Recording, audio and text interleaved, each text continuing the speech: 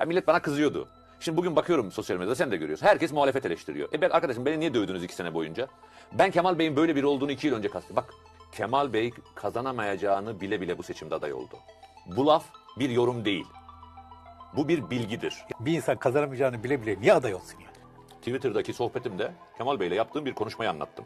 Gittim Kemal Bey'e dedim ki Kemal Bey işte ben bir kitap yazdım. Akışa göre siz aday oluyorsunuz dedim 2023'te. Sizi aday yapıyorlar dedim.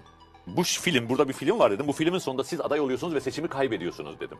Bak bu isimler dedim. Sizin adaylığınızı organize ediyor ve bu isimler de filanla filanla filanla devlet tarafından, iktidar tarafından filanla irtibatlı halde. Kemal Bey böyle dinledi. Ben bunu anlatıyorum Twitter'da böyle. Kemal Bey böyle dinledi, dinledi, dinledi. Dedim ki Kemal Bey Allah aşkına ben buraya bir gazeteci olarak gelmedim dedim. Senin evladın var benim yaşımda. Senin evladın olarak geldim dedim buraya. Lütfen dedim ülke için bu son bir şey, şans. Bu şansı heba etme dedim. Kemal Bey bana ne dedi biliyor musun? Levent ülke bitti. Hiçbirimizin kurtarma şansı yok. Evet aynen böyle dedi. Ben bunun üzerine şöyle dedim. Kemal Bey ne diyorsun Allah'ını seversen? Ya böyle düşünüyorsan sen niye aday oluyorsun dedim. Levent gerçekten ülkeyi kurtaramayız dedi. Kemal Bey o zaman aday olma dedim lütfen. Ne dedi bunun üzerine? Levent benim kendi adaylığımı engelleme şansım yok. Ve bunu, bu konuşmayı Babala TV'de, TV'de bir genç çocuk açtı Kemal Bey'e dinletti. Baştan sona kadar. ne dedi? Kemal Bey şöyle.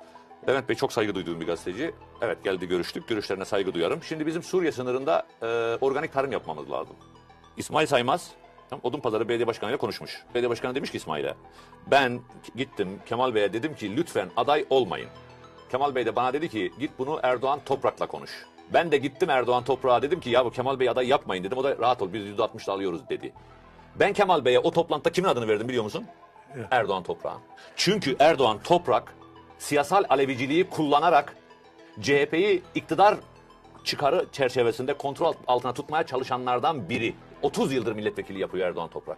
30 yıldır ülkenin lehine sadra şafır tek bir cümlesini duymuş değiliz Erdoğan Toprak'ın. Kemal Bey'i zorla aday yaptılar. Erdoğan Toprak, Tuncay Özkan, Enis Berberoğlu.